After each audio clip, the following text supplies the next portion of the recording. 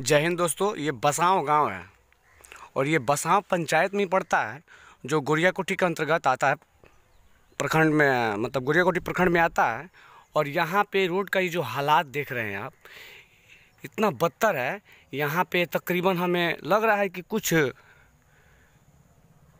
एक डेढ़ फीट पानी होगा और ये मेन रोड से कनेक्टेड है और यहाँ पे पानी पानी रोड पे इतना जमका हुआ है और इस रास्ते से हमें लग रहा है कि विधायक जी और इस पंचायत के मुखिया जी भी जाते होंगे और ये देखते होंगे कि हमारे पंचायत का इतना बदतर हाल है और इस रोड पे इतना पानी लगा है और इस रोड से अगर कोई, अगर इस गाँव में शादी विवाह पड़ता होगा तो किस, कैसे लोग आते होंगे, जाते होंगे, हमें तो पता नहीं यहाँ के स्थानीय लोग ही बता पाएँगे और यहाँ पे स्थानीय लोग नहीं हैं। भाई एक, भाई हैं, एक हैं, बताएँगे कुछ।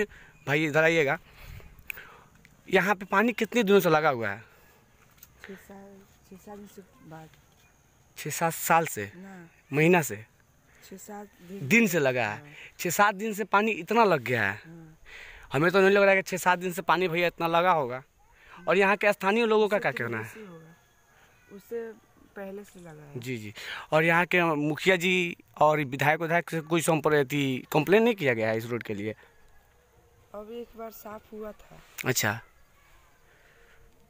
जैसे आप देख रहे हैं कि नीतीश कुमार जी का जो योजना है नल जल और नाला का वो पारित है। और लेकिन इस पंचायत में नाला की व्यवस्था क्यों नहीं है? और यहाँ के स्थानीय लोग ही बताएँगे।